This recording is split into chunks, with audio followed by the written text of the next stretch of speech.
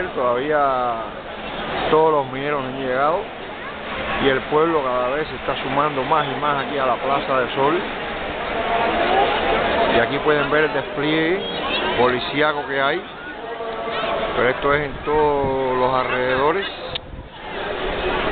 en las distintas cuadras. Esta es la grave situación, la grave crisis que tiene España con el asunto del empleo.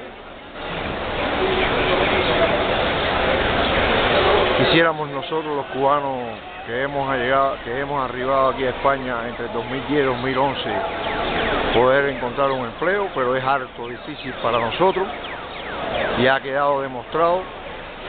Esto es sencillamente una de las tantas manifestaciones que se están haciendo aquí en España producto al desempleo, a los recortes, a los robos que hay por los funcionarios.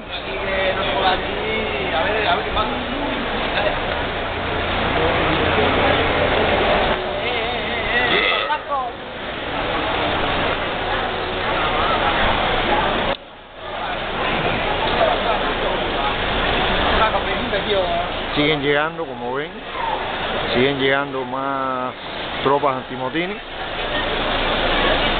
en sus carros celulares.